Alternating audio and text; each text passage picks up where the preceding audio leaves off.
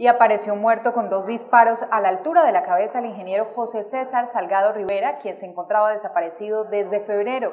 El cuerpo fue hallado en una vereda del municipio de Saravena. En las últimas horas, una persona fue asesinada en el área rural del municipio de Saravena. Según las primeras informaciones, se trataría del ingeniero José César Salgado Rivera, quien se encontraba desaparecido desde hace varios días. En un primer informe, el cuerpo sin vida fue encontrado por la comunidad en la vereda Miramar, jurisdicción del municipio de Saravena. Una funeraria de esa localidad fue quien realizó el levantamiento del cuerpo y lo trasladó hasta la morgue del municipio de Saravena. De inmediato inició la respectiva necropsia del cuerpo y es donde lo identifican como como Julio César Salgado Rivera, quien presentaba dos disparos a la altura de la cabeza. Según las informaciones, Julio César Salgado Rivera era de profesión ingeniero civil, el cual se encontraba desaparecido desde el pasado 23 de febrero del presente año, quien viajaba desde Yopal Casanare hasta el municipio Fortul del departamento de Arauca. El profesional viajaba hacia el municipio Fortul a licitar unas obras de interés social en este municipio y se le perdió el rastro en un eje vial en el departamento de Arauca. Los familiares interpusieron la respectiva denuncia ante las autoridades competentes y de inmediato el Gaula de la Policía Nacional iniciaron las respectivas investigaciones para dar con el paradero del ingeniero. Las autoridades del departamento de Arauca manifestaron que en esta zona del departamento de Arauca delinque la comisión Ernesto Che Guevara y la comisión Omaira Montoya Nao de la guerrilla del ELN.